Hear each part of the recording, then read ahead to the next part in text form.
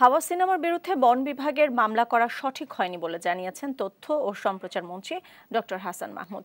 বিকেলে মিন্টো রোডের বাসভবনে চলচ্চিত্র নির্মাতাদের সঙ্গে বৈঠক শেষে তিনি বলেন, সিনেমায় আইনের ব্যত্যয় ঘটলে নোটিশ করা যেতে পারে, কিন্তু সরাসরি মামলা করা সঠিক হয়নি। বিষয়টি দ্রুত সমাধান হবে বলেও জানান তথ্যমন্ত্রী। এছাড়াও তিনি বলেন, শনিবারের বিকেল সিনেমাটি হোলি আর্টিজানের ঘটনা নিয়ে তৈরি। সত্য ঘটনার ভিত্তিতে করা সিনেমায় প্রকৃত সত্য উঠে আসা উচিত। তথ্যমন্ত্রী বলেন, হোলি আর্টিজানে পুলিশ, র্যাব, সেনাবাহিনীর প্রশংসনীয় ভূমিকা ছিল।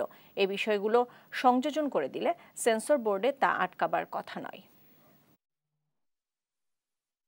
যেই কর্মকর্তা মামলা করেছে, তাকে শোকজ করা হয়েছে। মন্ত্রণালয়ের পক্ষ থেকে, অর্থাৎ বনপরিবেশ মন্ত্রণালয়ের পক্ষ থেকে তাকে শোকজ করা হয়েছে। এখানে আইনের যদি ব্যত্যয় হয়ে থাকে, তাহলে পরিচালককে নোটিশ করতে পারত। সরাসরি কোর্টে গিয়ে মামলা করা সেটি সমীচীন হয়নি বলে আমি মনে করি। সেজন্য তাকে শোকজ করা হয়েছে। তো সেটি বিষয়টা নিষ্পত্তি হয়ে গেছে।